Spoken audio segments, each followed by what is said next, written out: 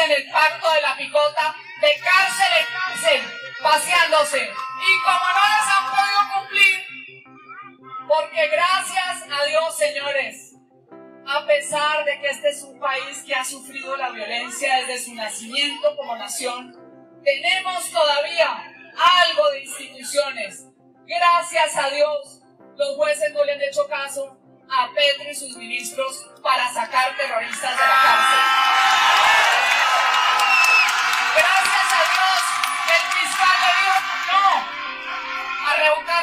De captura de 16 capos. Ya uno está por fuera en Estados Unidos y el otro fue el que le secuestró a los funcionarios de la fiscalía. Gracias a Dios, todavía tenemos patria y no nos la vamos a dejar robar por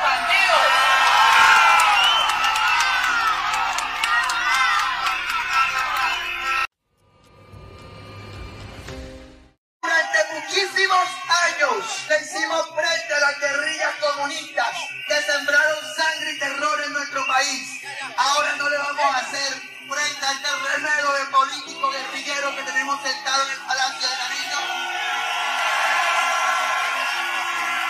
Aquí ustedes hoy tienen un congresista por las comunidades negras.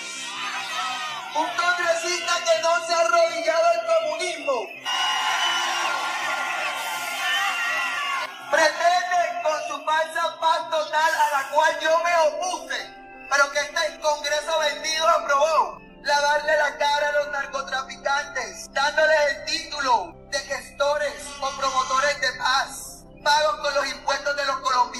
mientras le clavaban al pueblo trabajador, al pueblo que se levanta a las 5 de la mañana, impuestos para financiar la delincuencia.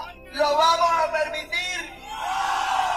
vamos a permitir que la ministra Corcho coja los recursos de nuestra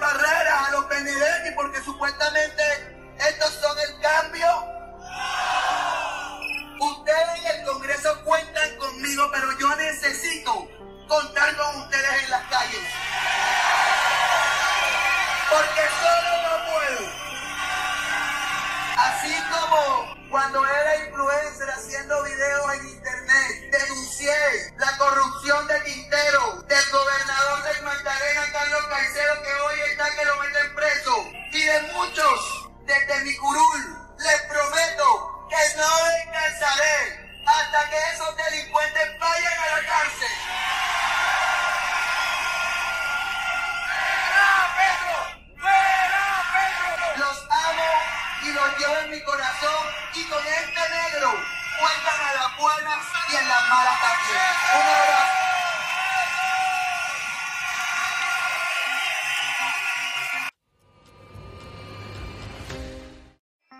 si siguen en esa tónica de apoyarle todo a Petro, ni un voto para ellos en las elecciones.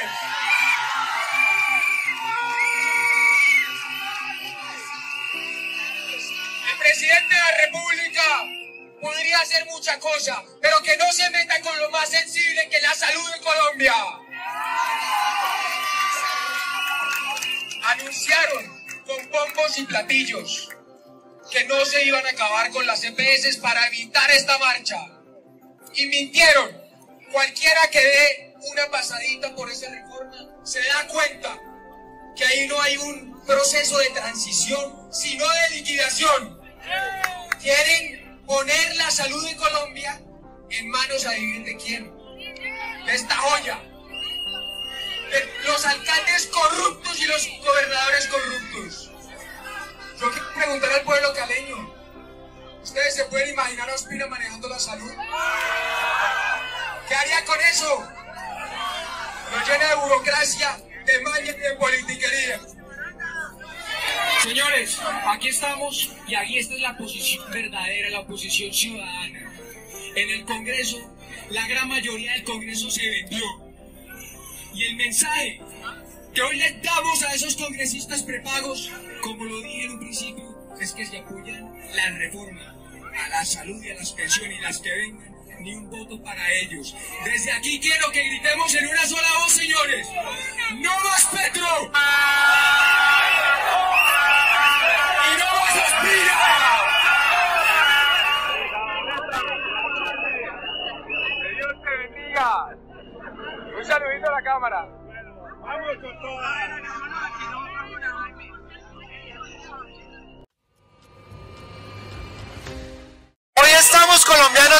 Las orillas políticas, todas las ideologías, iniciativa ciudadana, porque estamos preocupados por la incertidumbre que genera este gobierno. Un discurso que carece de hablar de generación de empresa, de empleo, generación de riqueza. Nos crea nuevamente enemigos para hablar de una lucha de clases. Estamos hoy, 15 de febrero, manifestándonos en contra de una serie de reformas que plantean destruirlo todo. Juegan con la vida de los colombianos, pretenden darle la plata de la salud a los aliados políticos de Gustavo Petro para que se la roben. Nos pretenden condenar a la informalidad y al desempleo. Es importante que el presidente recuerde que ganó en segunda vuelta y por un margen muy estrecho y no tiene un mandato para refundar nuestro país. Por eso nos preocupa mucho lo que está planteando en términos de salud.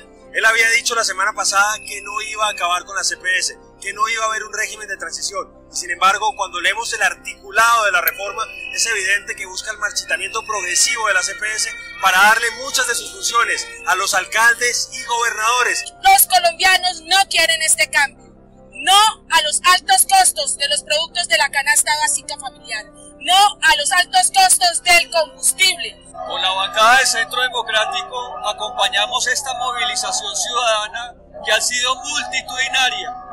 Aquí está la Colombia creyente, la que cree en su fuerza pública, en la libertad de empresa, en la moral cristiana y en las buenas costumbres. Sigamos movilizándonos para ganar la pelea en el Congreso, en las altas cortes, en las calles y en las urnas. Dios y patria seguimos adelante. Y por eso, en octubre, en octubre, vamos a expulsar a Daniel Quintero y a todos los ladrones que trajo. Medellín se respeta. Medellín se respeta. Y todos juntos vamos a gritar, Quintero, ladrón, Quintero, ladrón, Quintero, ladrón, Quintero, ladrón. El bueno.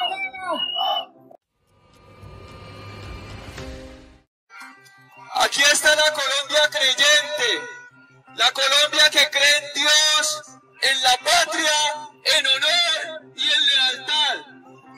Venimos a pedirle al presidente de la República que no haga conciertos, que no se gaste la plata de los colombianos en actividades que no se necesitan, que defienda a nuestros soldados y policías, que no dejen libertad a criminales que le han hecho daño al país con más de 400 mil hectáreas de coca, que no se abrace con Maduro o con dictadores, que eso no le queda bien. Así que amigos, gracias por estar acá, firmes,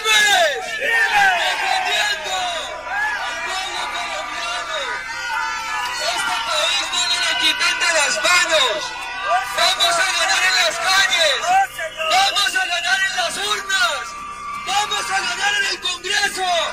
Vamos a ganar en las cortes. Porque Colombia está de pie. Y hoy se hace sentir como lo que es. Un pueblo honrado. Un pueblo unido. Un pueblo creyente. Un pueblo institucional. Gracias hombres de mujeres de fe porque seguimos trabajando por esta Colombia que no nos la van a quitar de las manos, insisto esa Colombia grande, respetada y libre, y agradeciéndole a Dios por este día, repitan conmigo, Dios y patria. Dios y patria. Dios y patria.